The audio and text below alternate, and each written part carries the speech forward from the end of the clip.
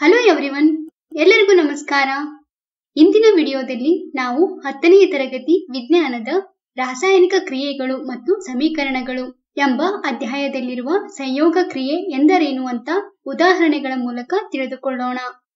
ಹಾಗೆಯೇ ಸಂಯೋಗ ಕ್ರಿಯೆಗೆ ಸಂಬಂಧಿಸಿದ ಚಟುವಟಿಕೆ ಒಂದು ಪಾಯಿಂಟ್ ನಾಲ್ಕನ್ನು ಕೂಡ ಮಾಡೋಣ ಮತ್ತು ಬಹಿರುಷ್ಣಕ ರಾಸಾಯನಿಕ ಕ್ರಿಯೆ ಎಂದರೇನು ಅಂತ ತಿಳಿದುಕೊಳ್ಳೋಣ. ಇವಾಗ ಸಂಯೋಗ ಕ್ರಿಯೆ ಎಂದರೇನು ಅಂತ ನೋಡೋಣ. ಯಾವ ರಾಸಾಯನಿಕ ಕ್ರಿಯೆಯಲ್ಲಿ ಎರಡು ಅಥವಾ ಹೆಚ್ಚು ಪ್ರತಿವರ್ತಕಗಳು ಸೇರಿ ಒಂದೇ ಉತ್ಪನ್ನ ಉಂಟಾಗುತ್ತದೆಯೋ ಅಂತಹ ಕ್ರಿಯೆಯನ್ನು ಸಂಯೋಗ ಕ್ರಿಯೆ ಎನ್ನುವರು.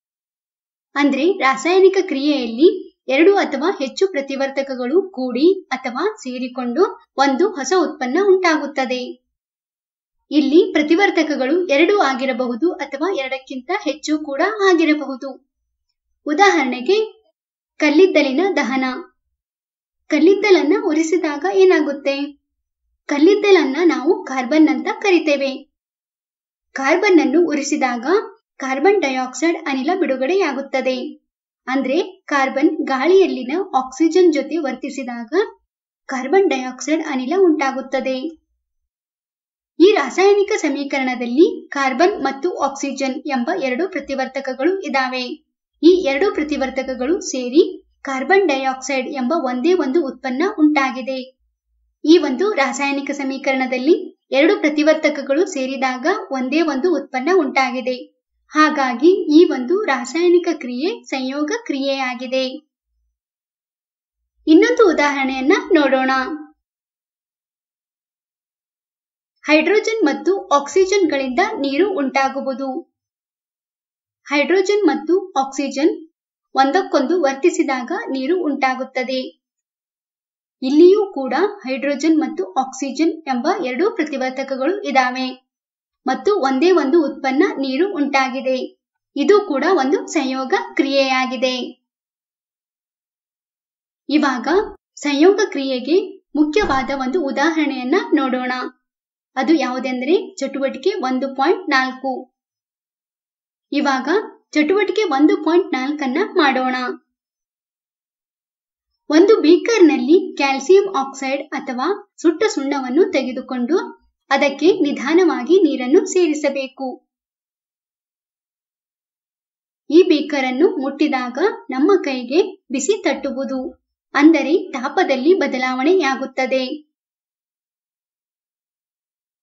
ತಾಪದಲ್ಲಿ ಬದಲಾವಣೆಯಾಗಲು ಕಾರಣವೇನೆಂದರೆ ಕ್ಯಾಲ್ಸಿಯಂ ಆಕ್ಸೈಡ್ ನೀರಿನೊಂದಿಗೆ ವೇಗವಾಗಿ ವರ್ತಿಸಿ ದೊಡ್ಡ ಪ್ರಮಾಣದಲ್ಲಿ ಉಷ್ಣ ಬಿಡುಗಡೆಯಾಗುತ್ತದೆ. ಉಷ್ಣ ಬಿಡುಗಡೆಯಾಗುವುದರಿಂದ ನಮ್ಮ ಕೈಗೆ ಬಿಸಿ ತಟ್ಟುವುದು. ಉಷ್ಣ ಬಿಡುಗಡೆಯಾಗುವುದರ ಜೊತೆಗೆ ಅರಳಿದ ಸುಣ್ಣ ಅಥವಾ ಕ್ಯಾಲ್ಸಿಯಂ ಹೈಡ್ರಾಕ್ಸೈಡ್ ಅನ್ನು ಉತ್ಪತ್ತಿ ಮಾಡುತ್ತದೆ. ಈ ರಾಸಾಯನಿಕ ಕ್ರಿಯೆಯ ರಾಸಾಯನಿಕ ಸಮೀಕರಣ ಹೀಗಿದೆ. ಸುಟ್ಟ ಸುಣ್ಣ ಅಥವಾ calcium oxide plus H two O gives ಅರಳಿದ ಸುಣ್ಣ ಅಥವಾ ಕ್ಯಾಲ್ಸಿಯಂ ಹೈಡ್ರಾಕ್ಸೈಡ್ ಪ್ಲಸ್ ಉಷ್ಣ.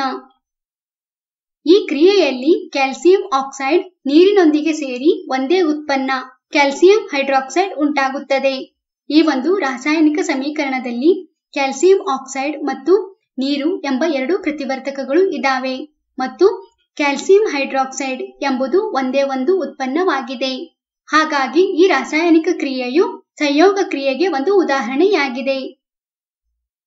ಈ ಚಟುವಟಿಕೆಯಲ್ಲಿ ಹೆಚ್ಚಿನ ಪ್ರಮಾಣದ ಉಷ್ಣ ಬಿಡುಗಡೆಯಾಗಿದೆ ಅಲ್ವಾ ಈ ತರಹ ಉತ್ಪನ್ನಗಳೊಂದಿಗೆ ಉಷ್ಣ ಬಿಡುಗಡೆಯಾಗುವ ಕ್ರಿಯೆಗಳನ್ನು ನಾವು ಬಹಿರುಷ್ಣಕ ರಾಸಾಯನಿಕ ಕ್ರಿಯೆ ಎಂದು ಕರೆಯುತ್ತೇವೆ. ಉದಾಹರಣೆಗೆ, ನೈಸರ್ಗಿಕ ಅನಿಲದ ದಹನ. ಈ ಒಂದು ಕ್ರಿಯೆಯ ರಾಸಾಯನಿಕ ಸಮೀಕರಣ C H four plus two O two gives C O two plus two H two O. ಉಸಿರಾಟವು ಒಂದು ಬಹಿರುಷ್ಣಕ ರಾಸಾಯನಿಕ ಕ್ರಿಯೆಯಾಗಿದೆ. C six H twelve O six plus six O two gives C O two plus two H two O plus ಶಕ್ತಿ. ಉಸಿರಾಟದ ಕ್ರಿಯೆಯಲ್ಲಿ ಶಕ್ತಿಯು ಬಿಡುಗಡೆಯಾಗುವುದು.